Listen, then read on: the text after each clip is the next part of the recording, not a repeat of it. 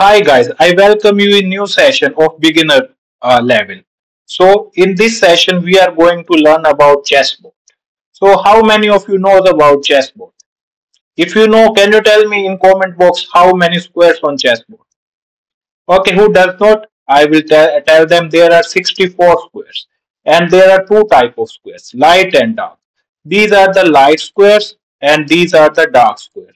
32 are light, 32 are dark. Oh, and can anyone tell me uh, why A, B, C, D, E, F, G, H, 1, 2, 3, 4, 5, 6, 7, 8 there? If you know, write in comment box. Otherwise, I'm going to tell you. Actually, these are the names of files. These are the files. This is A file. This is B file. This is C file. This is D file. This is E file.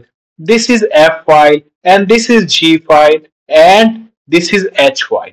And these are the 1, 2, 3, 4, 5, 6, 7, 8. These are the name of ranks. This is 1 rank. This is 2 rank. This is 3 rank. This is 4 rank.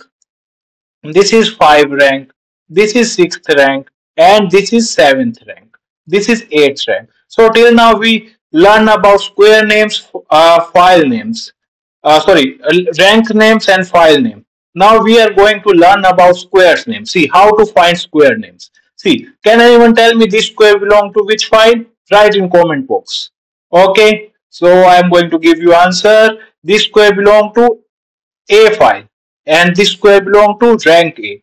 What we'll call it?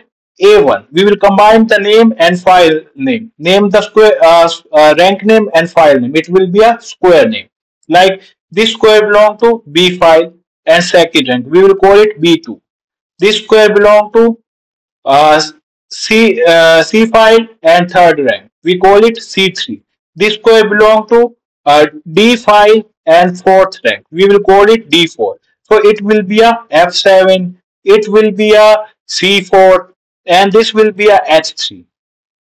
Okay, this is all for today. If you like this video, please subscribe.